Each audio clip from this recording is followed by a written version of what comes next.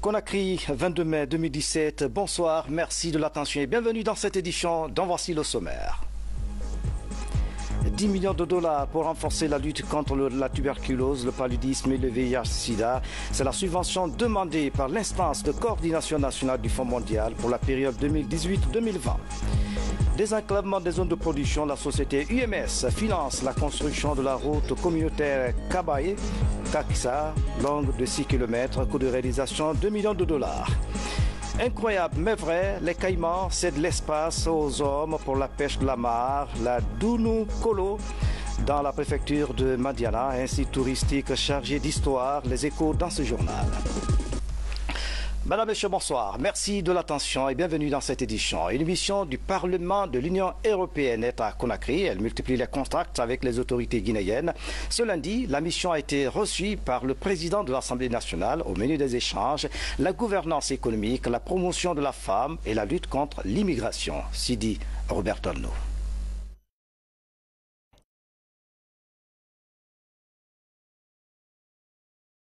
Arnaud. en l'espace de cinq mois. L'essentiel de l'entretien a porté sur les nouvelles orientations de la coopération avec le continent africain. Les émissaires de l'Union européenne ont largement évoqué avec le bureau de l'Assemblée nationale des questions relatives à la gouvernance économique, à la promotion des femmes et des jeunes et la problématique de la lutte contre l'immigration clandestine et le terrorisme sur le continent. Your future is our future. Euh, le but de cette mission est de souligner euh, le fait que euh, votre futur, le futur de l'Afrique et de la, Guinée-Conakry, c'est le futur de l'Europe, c'est notre futur.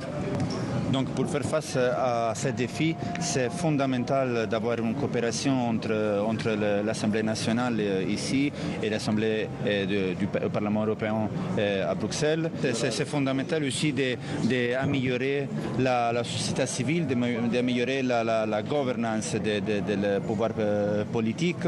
Oui, c'est fondamental aussi de, de, oui, de la participation des jeunes, des femmes et de la société civile, de l'organisation de la société civile à ces défis-là. lá. É, é, essential Après ces échanges sur fond de l'excellence des relations de coopération entre l'Assemblée nationale et la délégation du Parlement européen, le président de la Commission économique et financière du Parlement guinéen a, au nom du président de l'Assemblée nationale, rassuré la mission du soutien et de l'appui de l'Assemblée nationale guinéenne à ces nouvelles coopérations dans divers domaines avec l'Afrique. Nous avons donné des réponses et la mouvance et l'opposition pour donner des assurances que dans ce pays, nous tenons compte effectivement de l'importance que représentent les jeunes et les femmes. Et le président de l'Assemblée nationale a attiré l'attention de la délégation sur le fait que le problème que nous avons, c'est le manque de cohésion nationale. L'Assemblée nationale bénéficie depuis des appuis techniques et institutionnels de l'Union européenne, surtout dans l'équipement et le renforcement des capacités des députés et du personnel administratif de l'Assemblée nationale. La coordination nationale du Fonds de lutte contre la tuberculose, le paludisme et le VIH-Sida a besoin d'une subvention de 10 millions de dollars pour faire face à ces fléaux. Ce fonds devrait lui permettre d'intensifier la lutte pour la période 2018-2020.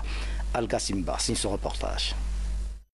Le VIH-Sida, le paludisme et la tuberculose continuent d'affecter la population guinéenne. Pour faire face à ces fléaux, les membres de l'instance de coordination nationale du Fonds mondial de lutte contre ces maladies préparent un projet de subvention de plus de 10 millions de dollars pour la période 2018-2020 un projet que la Guinée va soumettre au Fonds mondial pour financement. D'abord, un, il faut dépister les gens. Deux, il faut des laboratoires pour faire cela. Trois, il faut acheter des médicaments. Et quatre, il faut renforcer l'ensemble du système de santé pour faire face à ces fléaux-là.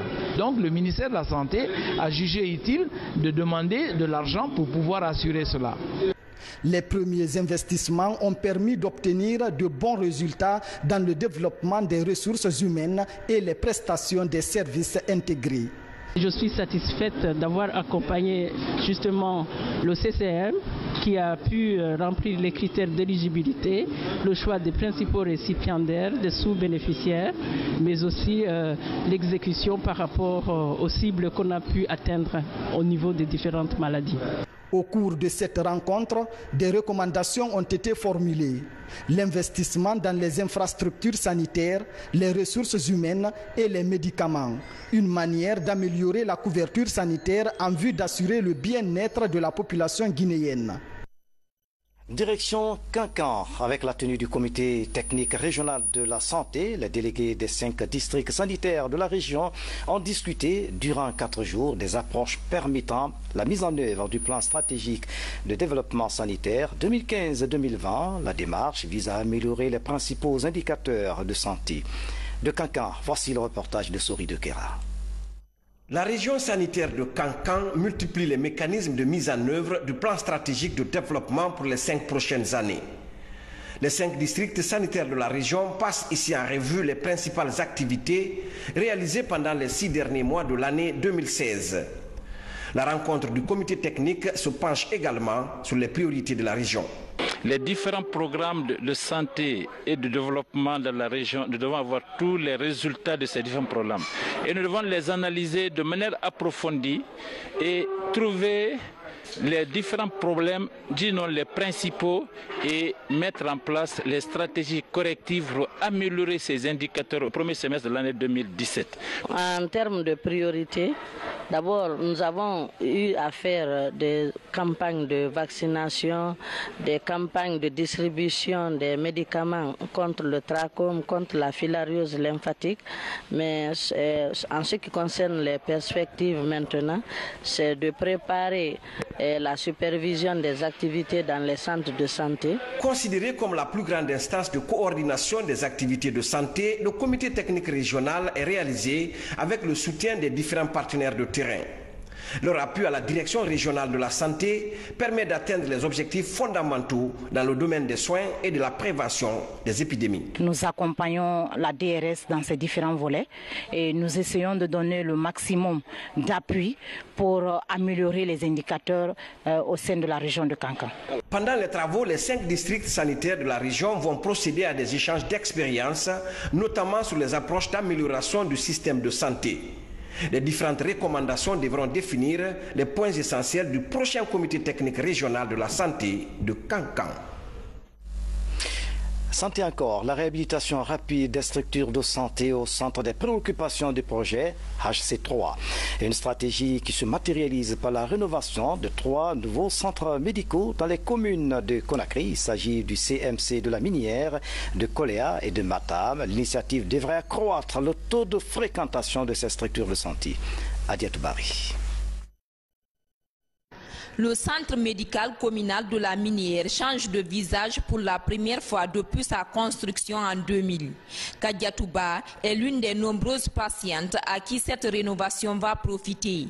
Le mois prochain, elle va donner naissance dans cette salle d'accouchement désormais climatisée et électrifiée. Le centre est devenu plus beau avec plein de ventilateurs et de climatiseurs. Nous sommes vraiment contents pour ça. Nous sommes très satisfaits puisqu'il y a des images très fortes. On vous présente d'abord le centre, ce qu'il était avant la rénovation, et le centre, ce qu'il est aujourd'hui. Encore qu'il reste très peu pour terminer la rénovation, la différence est nette, elle est éloquente. Donc nous sommes très satisfaits. Merci à C3, notre partenaire technique. Merci à l'USAID, notre partenaire financier. Merci au gouvernement de poursuivre ses efforts dans ce sens pour améliorer la santé pour toutes les populations.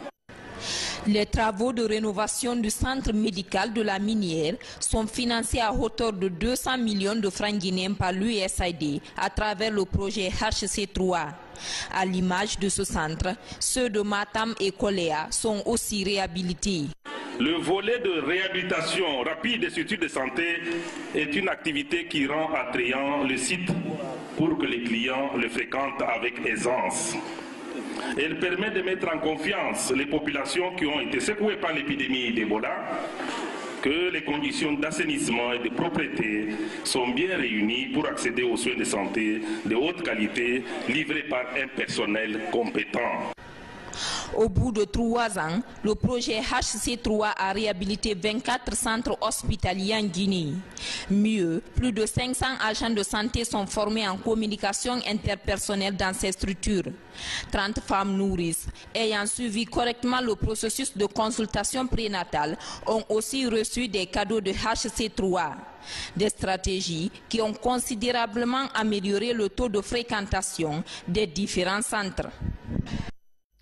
On change de sujet. Le ministère de l'Enseignement supérieur, dans les perspectives de l'organisation du premier forum de l'étudiant en Guinée, cet événement mettra en face les étudiants et les professionnels autour des besoins du marché du travail. Le département a animé une conférence d'information dans ce sens à Conakry. Francis Colli. Cette conférence, en prélude au Forum de l'étudiant guinéen, prépare les futurs bacheliers et étudiants à s'orienter sur la base de critères professionnels. Le Forum de l'étudiant guinéen, qui se tiendra du 1er au 3 juin 2017 au Palais du Peuple, est une première au sein du système d'enseignement du pays. Déjà, les étudiants parlent de leurs attentes que les bacheliers puissent se situer sur euh, les débouchés, c'est-à-dire les institutions qui sont prioritaires ici porteurs euh, d'emploi. Et nous devions aussi être capables ici à au moins rédiger des CV, euh, des lettres de motivation pour lier le choix des filières de formation aux besoins du marché de l'emploi, des partenaires du milieu professionnel comptent échanger sur les opportunités d'emploi pour mieux guider les futurs bacheliers et étudiants guinéens. Comme les autres sociétés, comme les autres entreprises dans le domaine numérique, ça c'est un domaine qui exige beaucoup de talent. En participant à ce genre d'événements, on découvre les talents dans les universités et après il peut se postuler à notre bureau et chaque année on va choisir les meilleurs.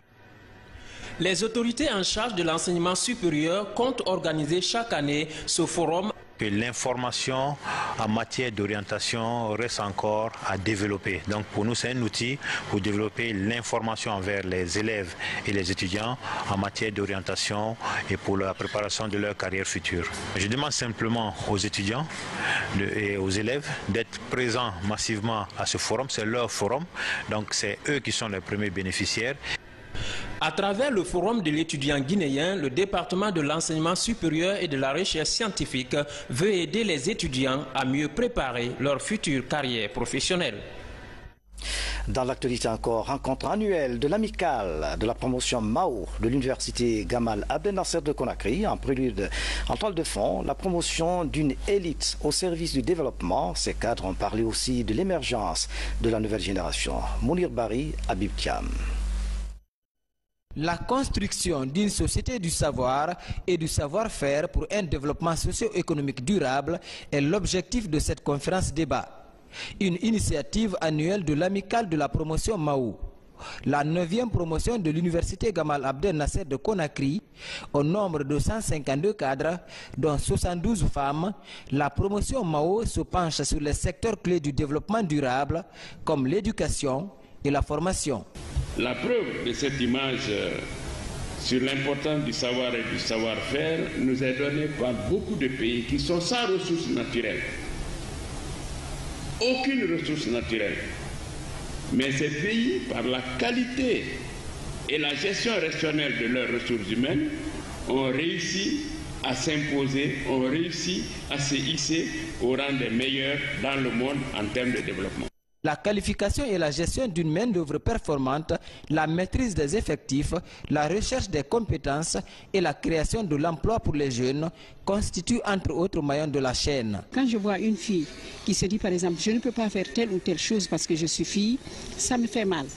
Parce que moi, je suis allée dans les facultés techniques pour démystifier le, tra le travail des hommes et prouver qu'être une fille n'était pas un handicap. Euh, je trouve cette rencontre très intéressante parce que j'ai vu la promotion Mao. Je pense que toutes les promotions doivent s'inspirer d'eux et agir. Pour la promotion Mao, le développement de la Guinée et la lutte contre la pauvreté passent forcément par la formation, la maîtrise des NTIC et la bonne gouvernance, des moyens qui vont faciliter aux populations leur accès aux services sociaux de base dans un monde en pleine mutation. Conakry, capitale mondiale du livre, un nouvel ouvrage vient d'être publié par la maison d'édition L'Armatin Guinée. Il est intitulé Les Condés et le Mandingue. L'auteur, Feu Elage Missa Condé, explique dans son livre l'origine des Condés, mais aussi tous les autres noms de famille Mandingue. Voici le reportage de Yamo Kaba et Valérie Manet. Le centre culturel franco-guinéen, un espace vivant des professionnels du livre. À l'occasion de l'événement Conakry, capitale mondiale du livre, l'ouvrage Les Condés et le Manding de Feu Missa Condé est présenté à titre posthume. Une œuvre transcrite par les fils aînés de l'auteur et achevée en étroite complicité avec le griot Maurice Sanda Condé. Un travail collectif qui retrace l'épopée mandingue. La particularité cette fois-ci de, ce livre, cet ouvrage, Les Condés et le Manding, tient au fait que notre feu père avait beaucoup d'estime pour la famille. Il au départ, il avait parlé de notre famille restreinte. Il s'est élargi à tous les Condés. Et comme les Condés font partie d'un ensemble qu'on appelle Mandé, et donc c'est pourquoi l'ouvrage a pris le titre Condé. Les Condés, d'abord l'origine des Condés, le mouvement des Condés, comment les Condés se sont retrouvés dans le Mandé et quel a été vraiment leur apport dans, disons, dans la promotion du manding et puis euh, ce qu'ils ont pu apporter dans le manding. Cet ouvrage s'appuie sur l'œuvre de grandes icônes de la littérature guinéenne comme Djibril Tamsirnian avec son roman L'épopée manding et le maître de la parole de Kamaralaï. Les Condés et le manding, c'est aussi le fruit de plusieurs recherches sur la tradition orale recueillie au fil des ans auprès des griots et conteurs. Je dois dire que c'est un livre quand même qui apporte beaucoup d'éclairage à ceux qui en ont besoin par rapport à l'histoire du Manding. Parce que nous l'oublions pas, les peuples ont leur culture. Et la transmission de la culture, avant, c'était par l'oralité. Mais aujourd'hui, nous avons toute une panoplie, n'est-ce pas, de moyens qui permettent la transmission de la culture. Considéré par les auteurs et éditeurs comme un instrument d'immortalité, ce livre touche aussi les autres noms de famille. Son auteur, Femissa Condé, s'est mis à la rédaction depuis 1986. L'autre image de l'actualité nationale, World Communication Agency vient d'organiser la quatrième édition de son dîner gala en faveur des enfants déshérités. Ce gala a été mis à profit pour inviter les décideurs à porter une attention soutenue aux enfants en situation difficile. Le ministre de l'Action sociale sollicite à cet effet l'implication de toutes les bonnes volontés. Maurice Sidibi était de la partie des scènes de théâtre et autres prestations artistiques pour mieux décrire les conditions de vie des enfants déscolarisés. Ce dîner gala est une occasion pour lever des fonds et faire des plaidoyers en faveur des enfants en détresse. J'aimerais bien que les gens nous accompagnent davantage pour aider ces enfants à s'intégrer, à insérer dans les foyers, dans des centres d'accueil, parce qu'ils n'ont pas, disons, ils n'ont pas souhaité, ils n'ont pas demandé à vivre dans ces conditions. Allant dans le cadre de ce plaidoyer, je m'en vais vous parler du mariage précoce. Vu que nous défendons les droits des enfants et dans ces droits, il y a certainement le mariage précoce et aussi la scolarisation des enfants, donc ce que eh, ces enfants brillants viennent de faire sur l'importance de l'éducation guinéenne, de l'éducation des enfants. Parce que sans éducation, on ne peut pas parler de développement. La déscolarisation, le mariage précoce, des pratiques nuisent à l'avenir des enfants ayant ratifié toutes les conventions relatives aux droits des enfants, le gouvernement guinéen mène le combat pour respecter ses engagements internationaux. Le ministère de l'Action sociale, de la promotion féminine et de l'enfance demande l'implication de tous pour changer les conditions de vie des enfants sans abri. Enfants, société civile, gouvernement, nous devons nous donner la main pour créer les meilleures conditions de vie aux enfants. Et c'est ce que Mme Sisseko est en train de faire. Elle joue sa part dans le développement harmonieux des enfants de Guinée. Je ne cesserai jamais de lui rendre un vibrant hommage. Ce dîner gala est initié par World Communication Agency. Depuis quatre ans, la structure organise l'événement, une manière de contribuer à l'épanouissement des enfants en situation difficile. Soutien aux enfants déshérités, une action à encourager. Le programme des Nations Unies pour le développement PNUD finance certaines institutions de microfinance à réaliser leur plan d'action relatif à la lutte contre la pauvreté. La rencontre de Kindia fait le bilan des projets financés par le PNUD. Mohamed Sankon est à Kindia. Comment des institutions de microfinance affiliées au PNUD? Programme des Nations Unies pour le développement gèrent les subventions financières accordées par l'institution.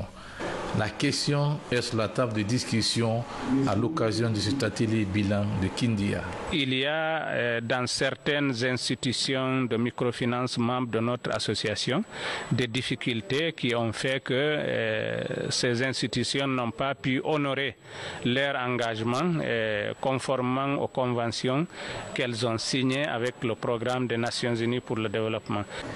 Les institutions nationales de microfinance ne couvrent que 4% de la population contre 14% dans l'espace EMOA. Conséquence, la pauvreté recule lentement et le PNUD s'en inquiète. C'est une déception parce que quand il y a manquement dans le respect des engagements par une des parties, et on, est naturellement euh, déçu. Surtout que ça, le comportement devient de plus en plus récurrent entre institutions et qui risquerait de nous amener à, redéfinir euh, notre stratégie d'intervention, notre stratégie de collaboration avec ce secteur-là. Un recadrage est sollicité par toutes les parties. Il conduira à la rupture entre certaines institutions de microfinance et les partenaires du PNUD et du PASIC. Euh, nous allons identifier tous les problèmes, tous les obstacles, nous aider euh, à voir les institutions de microfinance qui pourront continuer avec nous et celles que nous allons euh, carrément éliminer. Difficile de comprendre car le rôle des institutions de microfinance est d'aider les jeunes et les femmes notamment à développer les activités génératrices de revenus et donc de lutter contre la pauvreté. Désenclavement des zones de production à Boké. La société UMS vient de lancer les travaux de construction de la route Kaboy-Kakissa dans la sous-préfecture de Tanene. Coût de réalisation 2 millions de dollars. Les populations bénéficiaires apprécient le geste. On met trois camarades reportage. Cette route en chantier va désenclaver les villages de Kaboui, Konkokan et Kakissa. Financée par UMS à hauteur de 2 millions de dollars US, va s'étendre sur une distance de 6 km. L'objectif de la construction de la route communautaire de Konkokan à Kakissa est de réduire l'utilisation de la route minière par les riverains afin d'éviter les accidents. Elle est particulièrement plus sûre pour les usagers de la route, les élèves qui se rendra à l'école. La SMB a mis à disposition des bus gratuits pour le transport des élèves dans cette zone depuis plus d'une année et demie. Pour les autorités locales et les populations bénéficiaires, cette action de désenclavement des zones minières cadre avec la politique de développement du gouvernement. Ce qui est acquis à Bokeh doit être préservé. Les écoles, les bureaux, les postes de santé, les routes, nous devons les préserver jalousement et chercher maintenant à en augmenter. Encore une fois, nous disons grand merci aux sociétés minières qui s'investissent pour le développement de nos localités. Cet événement, le gouvernement accorde une importance capitale, ce qui explique notre présence parmi vous ici aujourd'hui puisque le souci du professeur depuis son élection, depuis sa venue au pouvoir, c'est de rendre heureux la population guinéenne. Et cette route rentre dans ce cadre. Donc le gouvernement ne veut pas rester sans vraiment faire le déplacement pour partager avec vous cette joie. UMS compte multiplier cette action pour renforcer sa cohabitation avec les populations riveraines. Bientôt, un nouveau collège pour la sous-préfecture de Tindo, de la préfecture de Farana. La construction de ce tout premier collège est le fruit de la quatrième édition du Forum de Sankara. La pose de la première pierre a eu lieu en présence des autorités préfectorales. Mamadi Gassama, de retour de Sankara. C'est sur cet espace de 146 sur 200 mètres de long que sera bâti le tout nouveau collège de la sous-préfecture de Tindo. Il est le fruit de la quatrième édition du Grand Forum de Sankaran, organisé récemment par les fils de cette localité. La pose de la première pierre marque le lancement des travaux, un bel exemple de développement local. Des fonds obtenus pendant le forum passé là, le bureau exécutif de l'Union nous a mis des montants à notre disposition. Maintenant, les filles et les fils de Tindo aussi sont mobilisés pour accompagner le, bureau de forum pour la réalisation de, cette infrastructure. Et nous savons déjà aussi, le gouvernement était déjà représenté, le gouvernement avait contribué. Nous demandons encore au gouvernement de nous accompagner encore parce que quand vous regardez le coût et le montant déjà obtenu pendant le forum, ne peut pas faire tout le travail. Notre objectif est de persévérer dans ce terrain pour que chaque sous-préfecture de de, Parana puisse profiter de, nos efforts. Dans le suivi des travaux, que ce soit ici ou ailleurs, nous impliquons dans le suivi des travaux. C'est pourquoi le montant est versé au crédit rural et pour tout montant à débloquer, nous avons quelqu'un qui, suit et qui, pour le suivi des opérations. Le nouveau collège sera essentiellement composé de quatre salles de classe et d'une direction. Le coût de réalisation est estimé à plus de 500 millions de francs guinéens. Les autorités éducatives apprécient la démarche. Un élève qui arrive de la sixième à Tindo, il ne sait pas où aller, il abandonne. Mais ce collège peut permettre à cet élève de continuer son cycle secondaire à partir d'ici.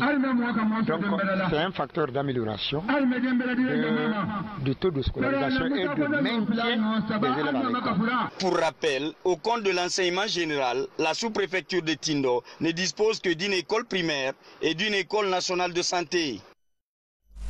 On remonte euh, dans la savane à Dunukolo, dans la préfecture de Mandiana. Dunukolo, vous le savez peut-être, est le plus vieux village de Yuma. Là-bas, les caïmans cèdent l'espace aux hommes pour la pêche de la mare. C'est un site historique chargé d'histoire. Mais à ce jour, la mare de Dunukolo est menacée de disparition. La précision dans ce reportage de Hans Mantumanikama. Karani, la mare au caïman sacré de Dunukolo dans Mandiana. Depuis la nuit des temps, dans ces eaux dormantes, l'homme et ses animaux se côtoient dans une atmosphère paradoxale. Pour la pêche annuelle, après un rituel, les caïmans se retirent tôt le matin dans leur cage, cédant ainsi l'espace pour cette journée de mercredi aux pêcheurs. Le village qui abrite cette mare est le plus ancien de tous les villages de Djoma. Djoma qui comprend plus de 24 villages. Euh, le plus ancien des villages, nous sommes dans ce village-là. Et la mare là, en ce moment, euh, en tenant compte de la découverte, la mare est la première mare. Cette année, la mare au Caïman sacré s'est montrée généreuse. La pêche a été bonne pour ces nombreux citoyens guinéens et ceux des localités rurales du Mali voisin. Cette dame vient de prendre le tout premier poisson dans, cette barre. Donc ça vous dit que euh, cette mare est très très très, c'est très très fructueux. Vous voyez ce gros poisson voilà, qu'il vient de récupérer dans la mare. Voilà, donc vraiment on peut lui, ne peut que le féliciter. Très poissonneuse, la mare au caïman sacré de Dunukolo a aussi tous les atouts d'être un site touristique attractif. L'épopée mandingue retient que c'est ici que les frères Traoré ont abattu le buffle de dos. Mais cette étendue d'eau, témoin de hauts faits historiques, est sous une sérieuse menace.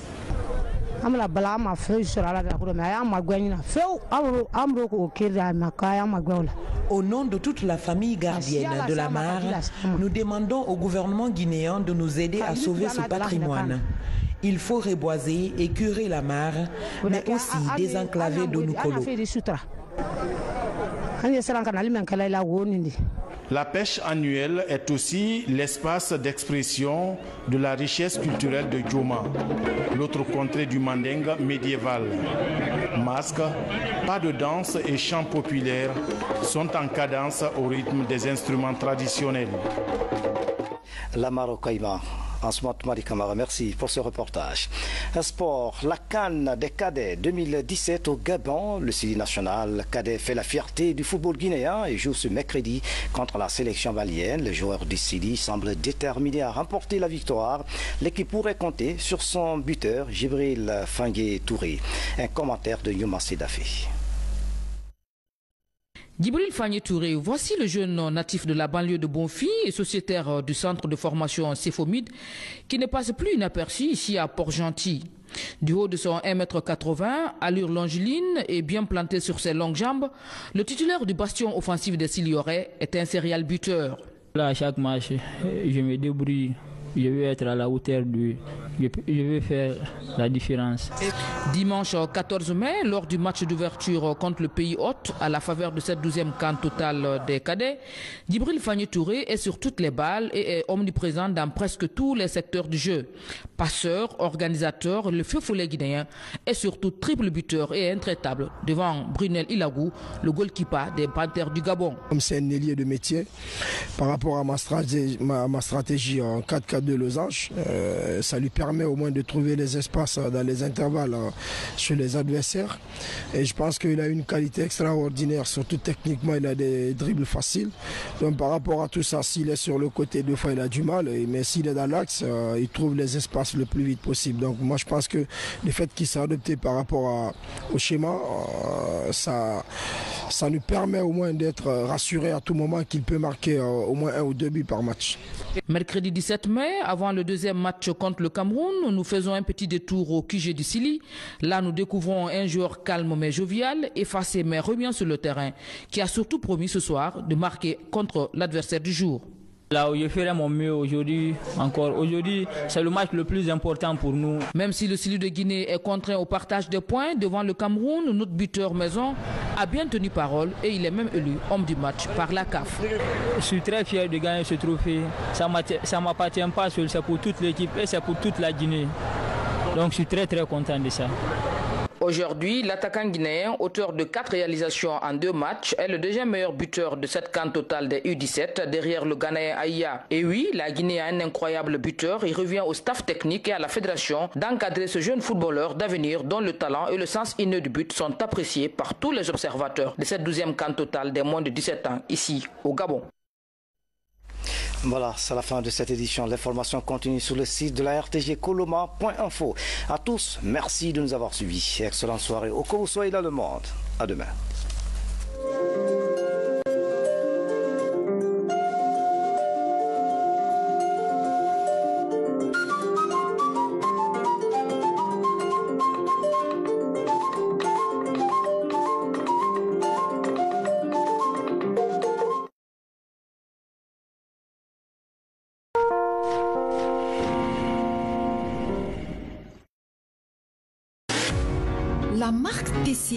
Leader mondial de la climatisation, arrive en Guinée avec la Galerie Marifala. Vous voulez vivre la fraîcheur et la douceur La marque des stars, la star des clims, TCL s'invite dans votre